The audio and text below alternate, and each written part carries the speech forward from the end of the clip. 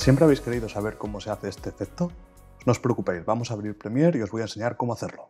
Lo primero que vamos a necesitar para este efecto es tener un clip en el que haya un movimiento de izquierda a derecha o derecha a izquierda, como se puede ver aquí, y que esté en un tripod, que la imagen esté fija, para evitar los artefactos a la hora de crear el efecto. Si es posible, es bastante importante que haya una diferencia de contraste entre el objeto y el fondo o bien el objeto sea mucho más oscuro que el fondo o que el fondo sea mucho más oscuro que el objeto. Os contaré cuál es la diferencia a la hora de editarlo. Bien, sin más preámbulo, eh, tenéis vuestro clip, vamos a cortarlo de la longitud que queramos.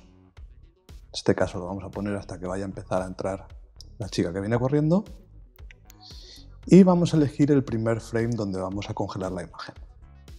Vamos a dejarlo aquí entonces para ello lo que vamos a hacer es duplicar el vídeo dejando pulsada la tecla Alt y arrastrando el vídeo hacia arriba una vez, dos veces y en esta ocasión tres veces, tantas como frames queramos congelar.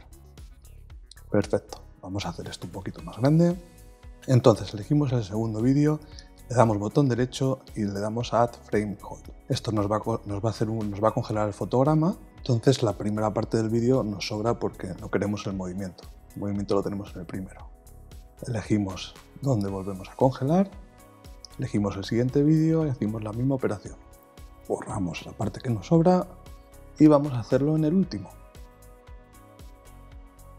Muy bien, una vez que tenemos nuestros frames seleccionados, lo que tenemos que hacer es elegir el primer vídeo, el primero de nuestros frames, ir al panel de control de efectos y en el Blend Mode tenemos que elegir Darken, porque en este caso el sujeto es más oscuro que el fondo. Si fuese al contrario, habría que elegir Lighten. Hacemos lo mismo para los otros clips. Y como veréis, hemos conseguido tener nuestro efecto así de sencillo. Si queréis, podemos hacer el efecto contrario, que los frames estén en pantalla y que la persona cuando vaya corriendo los vaya recogiendo. Entonces, simplemente voy a duplicar estos vídeos Voy a mover el cursor hasta donde estén los frames que tengo congelados y lo que voy a hacer es mover este clip, este frame congelado, al contrario, recortarlo aquí, que coincida con la línea del tiempo.